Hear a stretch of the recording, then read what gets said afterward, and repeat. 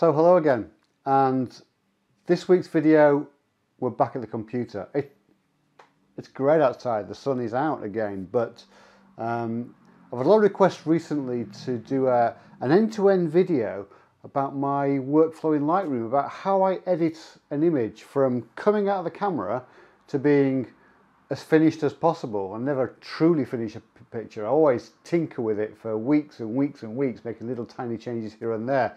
But how do you do that main body of change so you get to an image that you're generally comfortable with? It's something that a number of people have asked for, and uh, tonight we're going to go and, uh, and show you exactly how I use Lightroom to, to do that process. So let's not mess about. Let's uh, let's turn around and let's get going and let's uh, get on the computer. So here we are. Um, this is an image that we uh, photographed uh, last night actually in uh, in Liverpool, and uh, great night it was as well. Although sadly the, there was a very grey sky and it was raining in parts and then drying out really quickly and then raining again. But the sky really never changed from being um, what is really a dull day in Liverpool. But it's an amazing place and it's an amazing location to go and photograph. And I encourage anybody that's interested in photography that lives in the area to get yourself down onto the waterfront in Liverpool and, and take some pictures. So this is um, this is an image that uh, that we took. This is of Three Graces, and uh, you, you, may recognise them. This is the uh, the Port of Liverpool building. Then in the middle there we have the Cunard building, and on the end with the bird on the top is uh, is the famous Liver building of Liverpool. And this is the Pierhead area. So this is an image that we took. Uh, this is straight out of the camera, no, no changes made just yet.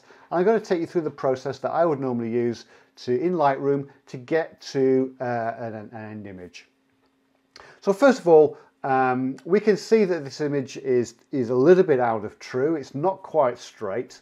So I would normally try and do a number of little things quickly and first just to kind of get a baseline. So the first thing I always do is I always go to lens corrections and I always, always, always just click on um, remove chromatic aberration and put a profile on for the lens. And just a really quick click and, uh, and that's that done. Next I'm going to come into transform.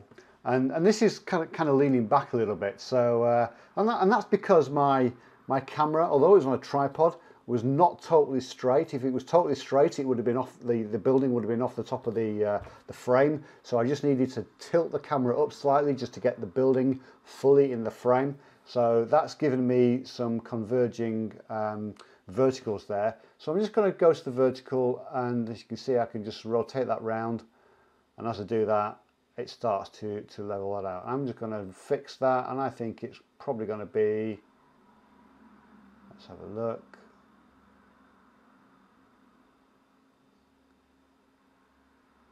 there, minus 8.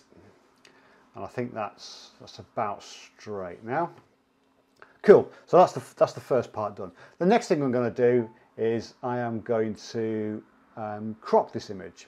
So let's just go into crop and let's just grab all of this and let's work out where I want my crop to be. So that building there at the back is is okay. Um, I don't really want that bus in there, so I'm probably going to crop it on that point there. Uh, do I want the roundabout in and all the road around it? Let's have a look at that. No, it just looks like too much black and too much um, too much there. So I'm going to bring it in a bit further, probably to that end of that tree line. And then I'm just going to bring that up there. And I think that is my crop. Yeah, happy with that? Enter. So that's the first thing I've done. I've, I've, I've straightened my image up and I've uh, put a crop on the image. So that's, that's the start of the process. Next I'm going to I'm going to kind of go through these, these menu options. I'm going to start with basic.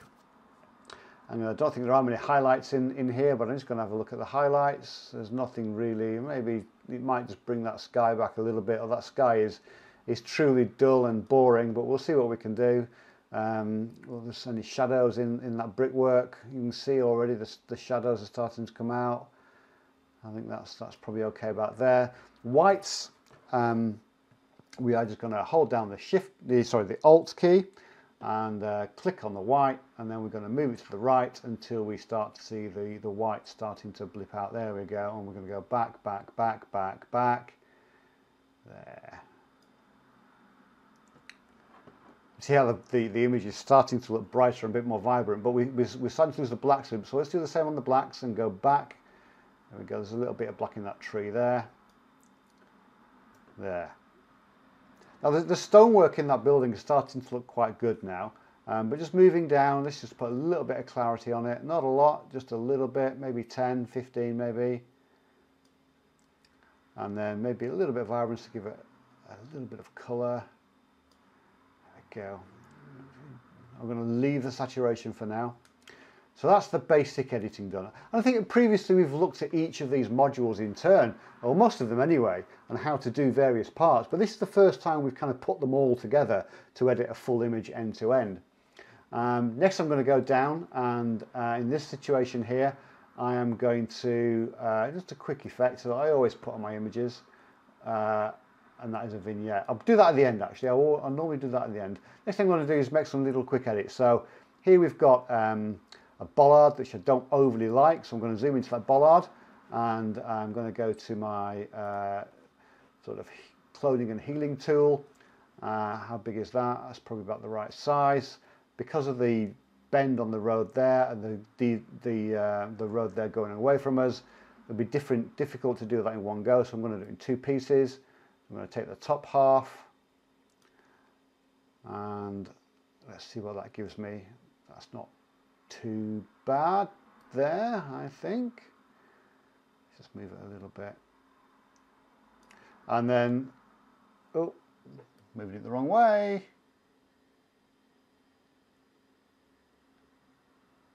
There we go, you've got to be quite careful with these little tools. There we go. And then I'm going to do another one on the bottom. Why it thinks he wants to go up there, I have no idea. Let's bring that back down to here. Once again, we have looked at each of these tools previously. This is just going to help us. There we go. Oops. I've got a little bit of yellow in there still actually from the uh, from the bollard.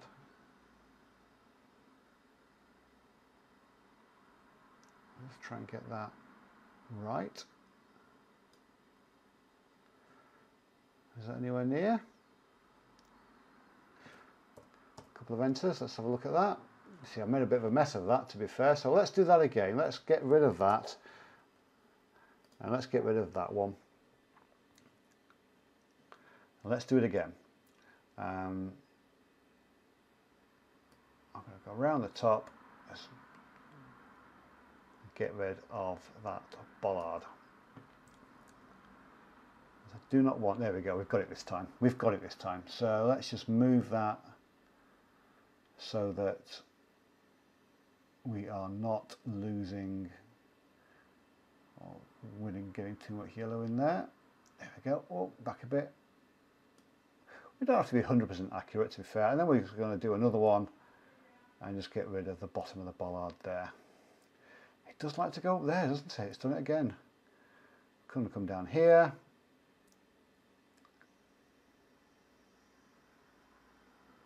Dragging slowly. The computer's running a little bit slow today for some reason. But that's fine. We can, can catch up with us. It's in no great rush. There we go. There, bollard gone. So let's now go back to our main image and I'm quite comfortable with that. The next thing I want to do is what have got this sky. So I'm going to go into um, the uh, spot healing tool and I've got nothing really on here so what I want to do first is I just want to select the sky. So I'm going to press O and that will give me my overlay. I've got automask turned on. I've got quite a heavy flow at, uh, at 92% and I'm going to have a nice big brush and let's start painting. And as you can see, we're putting red wherever we go. We go around. My computer's going really slow tonight for some strange reason. Let me tell you what I'm going to do. Let's just close Photoshop and see if that can help because Photoshop can sometimes um, kind of grab memory. Let's continue on, on here. Just around the top. I've got my auto uh, mask on, so it, it should kind of help in not selecting the, um, you see how slow this is?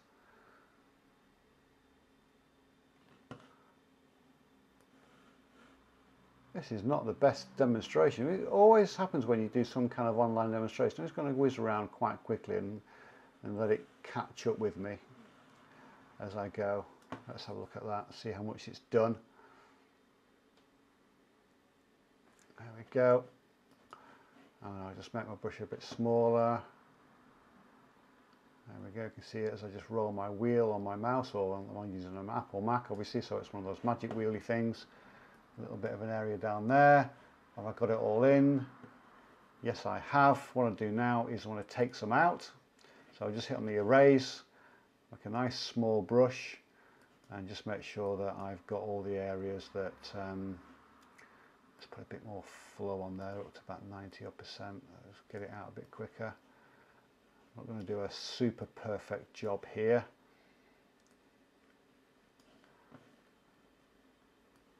because when I press the mouse key I get a red ball so that you can see when I'm pressing the mouse key. It just detracts a little bit from being able to see exactly what I'm doing but that's kind of fine. I can deal with that.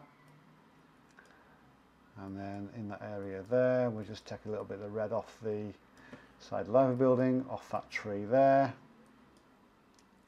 off that building down there.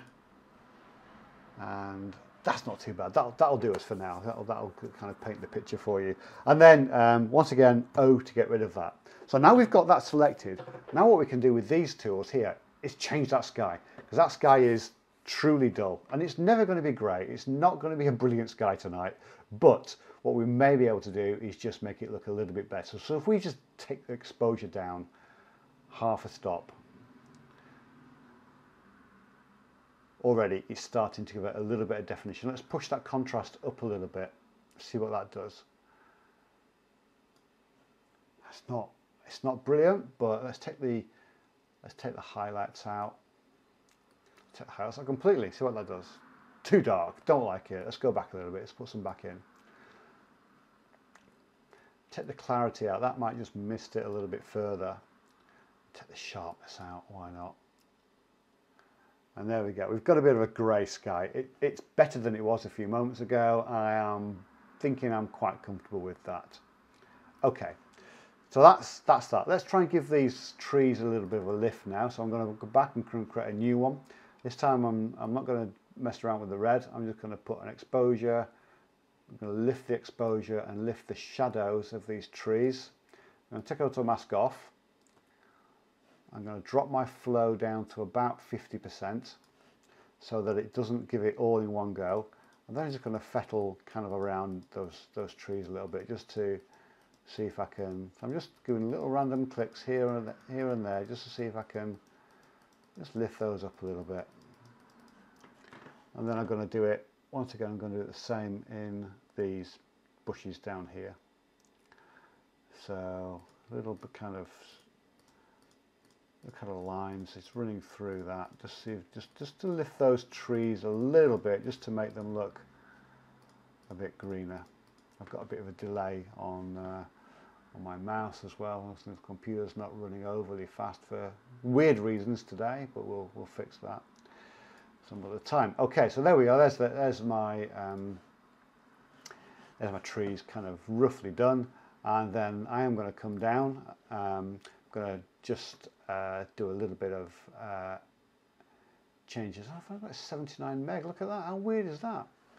Um, something's jumping my memory, but I will run up and we're going to put a sharpening of about 60 on it and a mask once again holding the alt key I should now get my there we go my masking layer take it up don't want to mask the sky don't want to sharpen the sky only want to sharpen the building ideally about there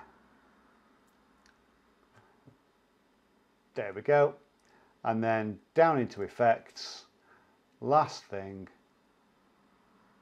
just put a little vignette on the edge. It's not a massive one, just a little tiny vignette. And there we go. Let's have a look at that, how it was from the beginning to the end. So the one on the left is, is what we started with. The one on the right is, uh, is, our, is our edited image. And uh, I think you'll agree it's a lot better. It's never going to be a brilliant image, to be fair. It was a really grey and rainy evening. Um, you know, these buildings can look fantastic in the evening light as the, as the sun shines across the River Mersey and just hits the front of these buildings.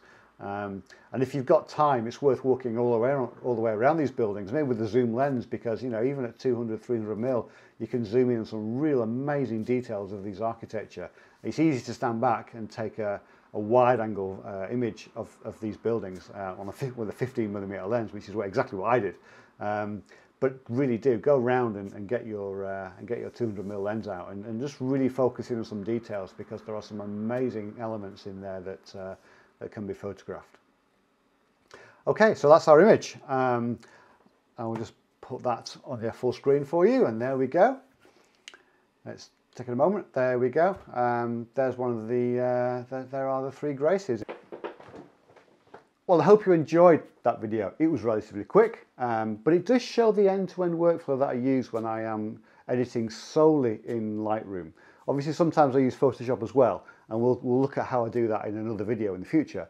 That's the end-to-end -end process in Lightroom. If you've liked this video, use the thumbs up. They're just down there. Just give us a thumbs up. Leave a comment and let us know how we can improve. Any topics that you'd like us to cover in the future. And please, down there in that corner, subscribe and then you'll see all our future videos um, as we publish them on a, on, on a weekly basis. So thank you very much for watching and uh, we will see you next time.